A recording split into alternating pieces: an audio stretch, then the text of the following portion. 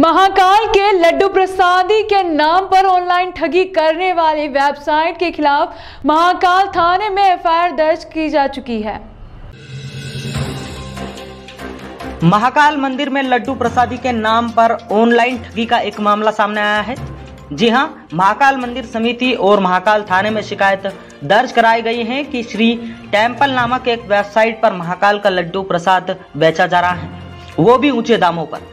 जिस पर कार्रवाई करते हुए महाकाल थाने में वेबसाइट के खिलाफ एफआईआर दर्ज कर ली गई। है जी हाँ, महाकाल मंदिर में दुनिया भर से आने वाले श्रद्धालु दर्शन के बाद महाकाल का लड्डू प्रसाद ले जाना नहीं भूलते हैं।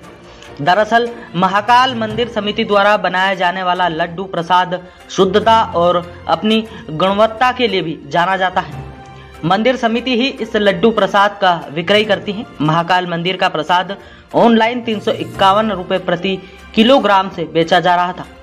इसे श्रद्धालुओं को आर्थिक रूप से भी नुकसान पहुँचाया जा रहा था। मंदिर समिति इसे नो प्रॉफिट, नो लॉस की तर्ज पर मंदिर का प्रसाद काउंटर से बेचती है। देसी घी और शुद्धता सामग्रियों से बना यह प्रसाद मात्र 260 रुपए किलो वितरित किया जाता है।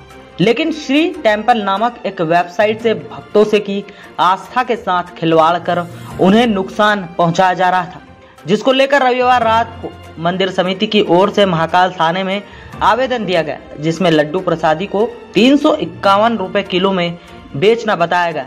सीएसपी पल्लवी शुक्ला ने कहा है कि समिति की ओर से आवेदन के बाद श्री टेंपल नामक वेबसाइट पर एफआईआर दर्ज की गई है।